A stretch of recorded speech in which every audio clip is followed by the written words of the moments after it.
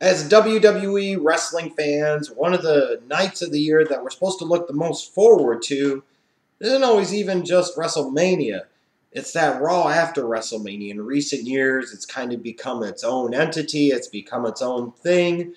So, of course, now instead of allowing something to organically be that way and just naturally be great like it had been in previous years, last year and especially this year, the WWE, I think, felt some of the pressure to really deliver in this spot and tried to live up to that hype and tried to make something big happen. Uh, but I have to say, while in theory it was a good Raw, that I won't dispute. It was an easy Raw to sit through. It had enough entertaining moments. This definitely did not measure up to the shows of previous years. It wasn't even as good as the Raw after WrestleMania last year, which I didn't think it measured up to those previous years either. You know, especially 2011 to 2014. Just a lot missing on this show. And in a lot of ways, it was a combination of further validating to me that WrestleMania 32, which had just happened the night before, was a colossal waste of mine and everybody else's time. It was, again, a reminder that there is absolutely no emphasis placed on storyline continuity whatsoever. It also was a reminder to me that this company really doesn't have things that well planned out that far in advance whatsoever, because it literally seems like they will throw shit against a, the wall and just hope it sticks. Then you'll see some examples of where the priorities are just exactly not where they need to be and they are ass backwards or in the wrong fucking place. And all the while, even from the very beginning of the night, when you've got the commentator sitting there and talking about the show and the way that they do and the way that they're setting it up, it feels like a kid or a friend or a family member, a significant other that is coming to you and you're asking them about something and you're getting this whole big spiel, this whole big setup, and you're just sitting there wondering, I'm wondering when they're going to get to the point. I know they're hiding something, or I know they are full of shit and they're trying to make it look not as bad as it actually is. And from the very beginning, you could see the JBLs and the Byron Saxtons, the Michael Coles trying to set this up about how the crowd will boo who they want and cheer who they want. Da, da, da, you know, it just felt like one pathetic Roman Reigns defense mechanism. Let's just call it as we see it. You have to go that far and that hard to try and protect it. I don't know why. Because if you're the WWE, let's face it, you care about reaction. It's been the entire motive operandi with Cena for over a decade now.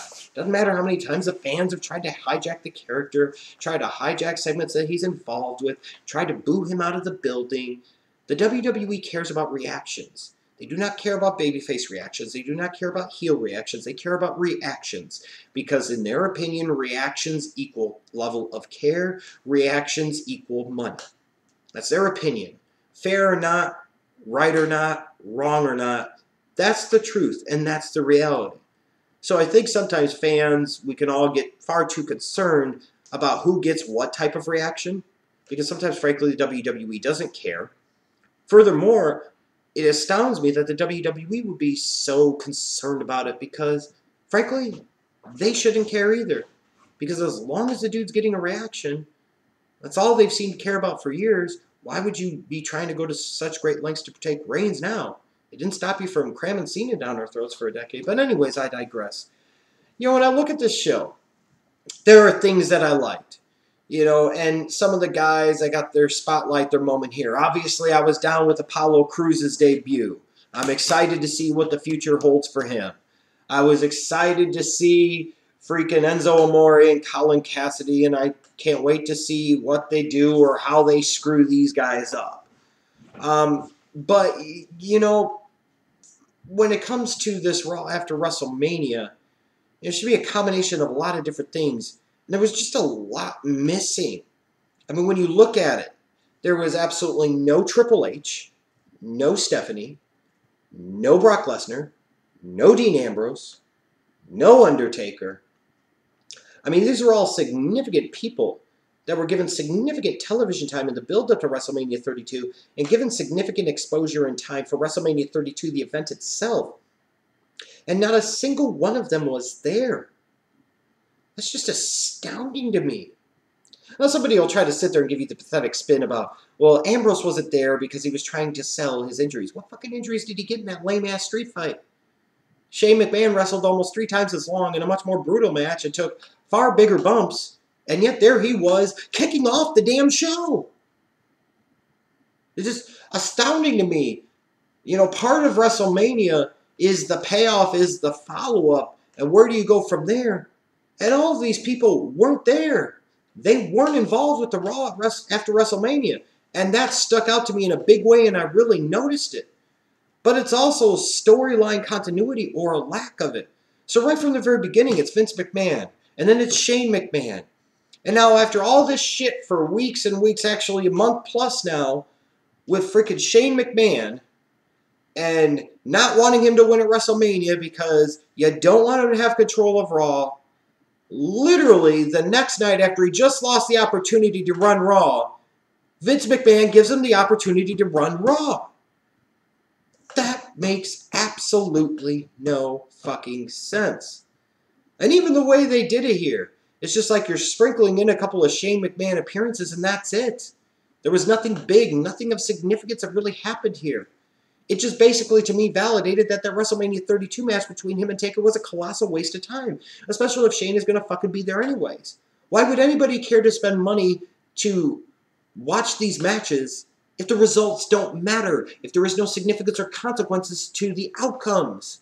And clearly, based off of what happened there, there was none, and there was no question answer because as soon as he was given this power for the night, Vince leaves and nothing else is addressed. It's just astounding to me. Then you look at something like the New Day defending the tag titles against the League of Nations. It's cool that at the end, the Wyatt family came out and attacked the League of Nations. You know, the Wyatt family needs a character change. They need to stop pushing them as heel because it's not working. It's stagnated their characters significantly. This is long overdue. But here we go. We just had the League of Nations win at WrestleMania 32 the night before in a match that wasn't for the tag titles. So that way, come the night after WrestleMania on the big deal Raw, where the titles are on the line, they go on and lose, and then they get their asses kicked by the Wyatt family. Once again, the focus isn't on the New Day. It's just astounding to me. Again, why would anybody care about the WrestleMania match if the next night you're going to come right back and basically do the same thing? But this time it's even more important stipulation because this one actually involves the tag titles and then the champions retain any fucking ways just so that way the emphasis is on another team possibly turning face, beating up the villains that just lost. The villains that can't get any heat, mind you. Even when they try. I mean, it is just absolutely astounding to me astounding to me. The lack of storyline continuity throughout the course of the night and just the the senselessness of some of the things that they did here. You know, it's cool when they had Roman Reigns come out and he didn't talk much. That's fine. You know, and they're they're giving him edge and they're trying to give him badassness and they're trying to give him hard assness. You know, Jericho comes out. Great. He just won his match at WrestleMania. Maybe he's a viable a short-term contender for Roman Reigns. But here comes Kevin Owens, who didn't fucking win his match at WrestleMania. Here comes Sami Zayn, who didn't win his match at WrestleMania. Here comes AJ Styles, who also didn't win his match at WrestleMania. So three of these four guys have never held the WWE World Heavyweight Championship, didn't even win the WrestleMania match from the night before, have never won a WrestleMania match, and yet all of a sudden they think that they are worthy opponents for Roman Reigns. They think are, they are worthy contenders for the WWE World Heavyweight Championship. And then we make a four-way match out of these guys. That's just astounding to me. And then especially knowing what happened at the end of the night, and I'll get to that in a moment, and the ridiculousness of all of that. But you know, as I sat here and I watched it, instead of in previous years where you would have The Rock lay down the gauntlet with John Cena talking about setting up to WrestleMania 28 the night after WrestleMania 27. You've got Brock Lesnar coming back the Raw after WrestleMania 28, having big things like this happen. It felt like this was just an NXT showcase. And maybe that's why some people really, really love this show because they got to see so many NXT guys. But you know, you need more than that. And especially with all the big names that weren't there. I mean, it's like Roman Reigns just beat Triple H and Triple H can't be bothered. We're trying to figure out who will take on Roman Reigns next. Uh, ding dong, dumb dicks. You know, I realized we forgot about the whole rematch clause after the Royal Rumble with Roman Reigns, but you would think the heel authority figure like Triple H, who is still technically in charge, has power on the show, would have a guaranteed rematch in the contract. So that way he would get to face Roman Reigns again at a time of his choosing. You would think right there, built in, number one contender, built in rematch is a purpose for them to have another match. Especially if the next show is going to be called Payback. But instead, we're doing this freaking four way crap. And again, it's just, what are we doing? You know, you had that nice moment of Zack Ryder winning the IC title to kick off WrestleMania 32. Great moment. And I like the fact that they did that in part because, like I said, it would give you a chance to spin off Kevin Owens and Sami Zayn in a feud that didn't need a title and shouldn't have a title, which is where they're going. And then you have Miz and Zack Ryder feuding over the title, so you get two feuds that can matter instead of one that kind of sort of does. Well, in this case, though, they come right back the night after having Zack Ryder win the belt at WrestleMania. They have him drop the strap to Miz. And it's funny because I'm sitting there and looking at it when he's getting into that shouting match, the confrontation with Ryder's dad at ringside. I mean, Ryder's dad's a badass fuck. That's a big swole dude. I sit there and look at him, and I think that Ryder's dad could not only take Miz, but take the majority of the roster. Probably not the intended consequence of that showdown and confrontation here.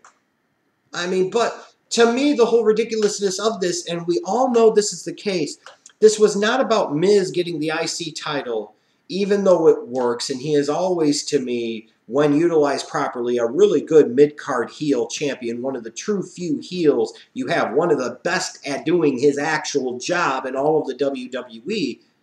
This was about spotlighting the returning Maryse. Maybe she ran out of cocaine and chocolate cake, so she needs money. She thought another one of those divas that thought she would be better if she left, and of course she wasn't, so now she's broke and she needs money and drugs and chocolate cake and all of that crap. So now, instead of it being about The Miz and winning the title, we know what it's about. This was all just a plot device, a ploy to bring back Marie so that way we can get her involved in Total Divas. So again, we're taking what should be a significant title and we're making the feud not even so much about the title. It will be of some consequence here, but the reason and the impetus for all this being done is not because of The Miz, it's because of Maryse and what they probably want to do with Maryse, which is put her on the next season of Total Divas. So again, we're taking the show that gets three times the viewership and sacrificing it for a show that gets a third of the viewership on a different network at a different night. Does that make any fucking sense to anybody whatsoever? No, it does not. Period. Then you look at Baron Corbin. You've got him winning the Andre the Giant Memorial Battle Royal. So after that big, potentially career-launching victory at WrestleMania the night before, that signature moment, how do we decide to repay that? We have him sit there and wrestle Dolph Ziggler to a fucking double countout. That's just dumb. Then you've got him yelling at the ref at the end that this is your fault. It's just stupid. How can you fuck up rolling these guys out? You know, if Corbin's that bad, just have him destroy Dolph Ziggler and don't even wrestle the match. Or have him sit there and get disqualified. Or have Baron Corbin get counted out because he's laid waste to Dolph Ziggler and he fucking walks off like this jobber bitch isn't even worth his time because he fucking not. You know, you take guys like this who could have some potential and then you just feature them in this way. Like the way they initially kicked off Apollo Crews, I thought was very, very good here. But the way they did it with Baron Corbin, not so much. This is a bigger dude. You don't need to be making him look vulnerable and making him look stupid, but of course that's what they did. Then, of course, you've got the Usos and the Dudleys wrestling again now, since they just wrestled on the WrestleMania 32 pre-show the night before again, further vindicating why in the fuck would you watch the main show or the pre-show of the main show when you'll just get the same shit or better shit again the following night, this time we actually get a tables match between the Usos and the Dudleys. And now the Dudleys are fucking winning the match. So we give the Usos the victory on the pre-show at Mania, but it's not a table match. They just put them through tables, which in theory should be the end of it, just so that way we can come back the next night And now we've got the Dudley boys winning the tables match, so that way we could potentially launch off into something between them and Enzo and Cassady. I guess. I guess. Then, for some reason, you know, while it's okay that they had Summer Rae actually say a little something to try and put some purpose between, between a match with her and Sasha Banks, why is Sasha Banks wasting her fucking time with Summer Rae? Why would she be wrestling Summer Rae? And then further on, later on in the night, you know, you're doing this whole big reveal segment, this big presentation, trying to make it feel like when Macho Man became the Macho King and he was presented his crown and his scepter and all that awesomeness from back in the day. This wasn't. You know, you've got Charlotte sitting there. You can tell it felt like she lost her composure a little bit when the crowd was trying to do their own thing. I don't think she really knew how to react. But the whole premise of this segment, you, know, you had her retain, which I still think was a bad decision. Then you come back here, and this is how you do things. Instead of, you know, hey, saying Sasha Banks didn't get beat at WrestleMania, it was Becky Lynch that did, and launching logically right back into more issue between Sasha Banks and Charlotte, for some reason, Natalya comes back into the fucking mix. And we're fucking emphasizing Natalya again. Why in the fuck are we emphasizing Natalya again? When it's not time to do it, it's not right to do it. It doesn't make sense to do it. Sasha Banks is right there. Sasha Banks makes all the sense in the fucking world. But instead, all these other girls are leaving out and Natalya's the voice of reason. Now, maybe if there was no clear cut, logical opponent or next step, this makes a world of sense. You could believe Natalya being a Divas lo- women's locker room leader. But in this case, you've got Sasha Banks. She didn't technically get pinned or submitted at WrestleMania. That was Becky Lynch. You move on from Becky Lynch. And now you just dive into Charlotte and Sasha Banks. And now they're fucking muddying the waters here and doing this other bullshit. It's just dumb. Dumb. And I guess in general, it was just a, a night of disappointment to me because, like I said, it just further validated that the almost seven hours that I spent between the pre-show and the main card of WrestleMania 32 was, as I feared it would be, just a colossal giant waste of my fucking time. And I'm tired of this company wasting my fucking time. And I know some of you that love NXT will think this fucking Raw after Mania was awesome. It was an acceptable, passable, viewable for three hours Raw. But again, the storyline continuity non existent. The invalidation of what happened the night before by doing a lot of shit that the exact night after and doing a lot of dumb shit with it is just fucking ridiculous and astounding to me. But the worst thing of all is the biggest return you really got on the entire night of Cesaro. And believe me, I'm happy to see Cesaro. But at this point in time, you've taken Zayn out of the four-way number one contenders match to see who will face Reigns for the title. Even though, again, Triple H should have the title shot because it's been something we've been basing their creative process off of for 30 years now. Champion loses, gets guaranteed title rematch unless there's specific stipulation saying that they don't. Just saying. So now you get to this four way match. And, you know, it's one of these things that I don't think this company knows what the fuck they're doing. They just don't. Because now you bring back Cesaro. At this point in time, at this moment, either he should be winning or Kevin Owens should be winning. Because if anything, Sami Zayn could cost Kevin Owens the WWE World Heavyweight Championship. And then, man, you're really off to the races with those two in a feud. That, that could carry you to the summer. Or you have Chris Jericho win it because he did just beat AJ Styles at WrestleMania. He's a former multiple time world champion. You've already established Chris Jericho somewhat as a heel, so maybe you trust in his talents enough to try and get over enough as a heel to get over Roman Reigns just enough as a likable guy where Reigns doesn't get booed out of the building every fucking week. But instead of going with the nice shock surprise, you know, let's go with a guy like Cesaro who could have a really good physical type of brawl with Roman Reigns, where it's not a lot about talk, it's a lot about action and physicality, and maybe uh, Reigns not being that likable to a lot of people won't matter as much. Or Kevin Owens, who could do some Kevin Owens things that will at least make it passable. But again, there could be some good chemistry there. There could be a good um, flow in terms of styles there. Or Chris Jericho, because of who Chris Jericho is, coming off of that big victory at WrestleMania 32. We'll give this spotlight to AJ Styles. We give this victory to AJ Styles. So we are now basically ensuring that Roman Reigns is going to get the brakes off, booed off of his punk ass for the next several weeks. If that's not your intention and that's not your goal, and maybe based off of some of the things you saw this week, maybe that is their goal, and maybe they are slowly going with the heel turn, even though, again, I think that's a ridiculous assertion because with who Roman Reigns is now, he already is heel, so to turn heel would actually make him the babyface, which creates the whole fucking problem of professional wrestling today, in particular the WWE. The villains are the heroes, the, the heroes are the villains. But why would we do AJ Styles here? He couldn't even beat fucking Chris Jericho at WrestleMania. And now he wins this match to get a title shot against Roman Reigns? Now, I'd be okay if you sat there and told me that you were going to have AJ Styles win Money in the Bank. You know, I'd be okay with that. I'd be down with that.